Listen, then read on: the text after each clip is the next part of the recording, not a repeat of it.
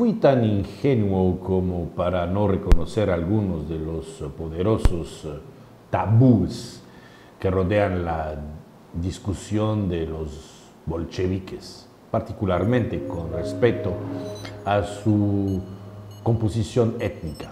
Aunque la mayoría de los libros ah, no hacen hincapié en este punto, cualquier persona con un buen ojo sobre el tema sin duda sabe que judíos fueron excesivamente, enormemente entre los más grandes revolucionarios.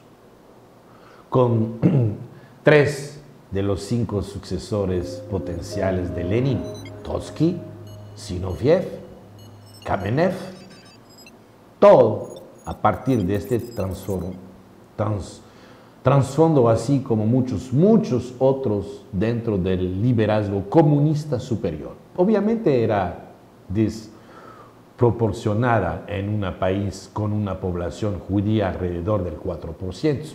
Y esto sin duda ha ayudado a explicar el fuerte aumento de la hostilidad global hacia judíos, pocos después, que a veces ha tenido el mayor número de forma inquietante e irracional. Trotsky, en Nueva York, 1917, señala que los informes de inteligencia militar de los Estados Unidos de esta época remiten directamente a Trotsky como el conducto para el apoyo financiero de Schiff y de muchos otros financieros judíos. En 1925 esta información se publicó en The Guardian, el periódico, y fue ampliamente discutida y aceptada durante las décadas de 1920 a 1930 por muchas publicaciones importantes de los medios, muchos antes de que el nieto de Schiff confirmara directamente estos hechos en 1949. A ver si usted me entiende bien. Sin embargo,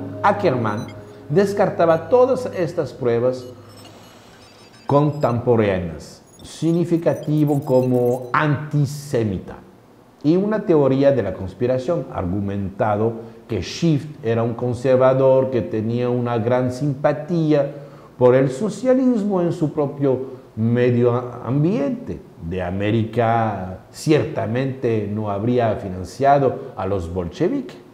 Pero sabemos hoy que esto fue palabras, palabras, palabras y puras palabras. Es cierto que algunos detalles pudieran confundirse fácilmente con el tiempo. Por ejemplo, aunque Trotsky estaba convirtiendo rápidamente en segundo lugar solamente a Lenin en la jerarquía, ¿eh? estaba tomando su lugar en la jerarquía bolchevique a principios de 1917, los dos hombres todavía estaban amargamente hostiles sobre diversos conflictos ideológicos, lo que sin duda no se consideró como miembro de este partido en este momento. Y puesto que ahora todo el mundo reconoce que gran parte de Schiff financió la revolución de 1905 en Rusia. Parece muy posible que la cifra de 20 millón, mil millones de... Pues fue así, fue mencionado por su hijo que se refiere al total invertido en los últimos años para apoyar todos los diferentes movimientos líderes revolucionarios rusos que finalmente llevaron a la creación de la Rusia bolchevica. Si usted entendió, un judío pagó esto, considera las implicaciones de esta notable conclusión. Su, Supongo que la mayor parte del financiamiento para las actividades revolucionarias de Schiff se gastó en presupuesto tales como pagos de sobornos eh, militantes y sobornos y ajusto al ingreso familiar, promedio de, en ese momento de esos famosos 20 mil millones, representaría hasta 2 billones hoy sin un apoyo financiero tan grande. La probabilidad de una victoria bolchevica había sido mucho menor. Todo se finanza, señores. Sí, no, casi imposible. Cuando la gente bromea casualmente sobre la locura de la teoría conspirativa antisemita, no hay mejor ejemplo que la, que la, idea que parece tan obviamente absurda que los banqueros judíos internacionales han creado el movimiento comunista mundial y sin embargo, según cualquier estándar razonable, esta afirmación parece ser más o menos cierta y aparentemente incluso ha sido ampliamente reconocida. De hecho, ninguna de estas fuentes exhaustivas mencionan el nombre de Shift, aunque fue universalmente reconocido para financiar la revolución de 1905 en Rusia. En 1999, la Universidad de Harvard publicó la edición de inglés del libro negro del comunismo, incluyendo los seis coautores. Eh, han dedicado 850 páginas para documentar los errores infligidos en el mundo por el sistema eh, desaparecido. Hablo del sistema comunista. Actualmente el total asciende al número de muertos de 100 millones. Eso fue el resultado. Ford, Ford mismo fue un individuo muy interesante, a pesar de que muy pocos libros de texto de historia tocan su papel en la historia mundial. ¿eh?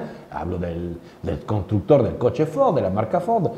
Aunque las uh, razones exactas de su decisión de aumentar el salario mínimo que dio a sus empleados a 5 dólares en 1914, el doble del salario promedio de los trabajadores industriales en este momento, podría ser impugnadas, estos parece haber sido un acto revolucionario y lo fue.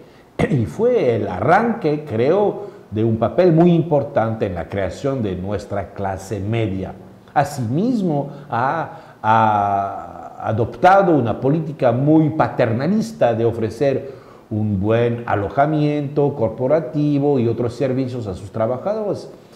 Una eh, desviación total del capitalismo en realidad. Los varones del capitalismo, ladrones, tan ampliamente practicados en este momento, pues aparecieron así como un héroe global Ford, para los trabajadores industriales. Y sus eh, abogados, así, ¿qué pasó? De hecho, el propio Lenin había considerado a Ford como una figura dominante en el firmamento revolucionario del mundo. ¿Lo sabían usted? Pero mi historia no se acaba aquí. Y mañana tendremos más al respecto. Sí, es interesante. Estemos atentos y al tanto de todo.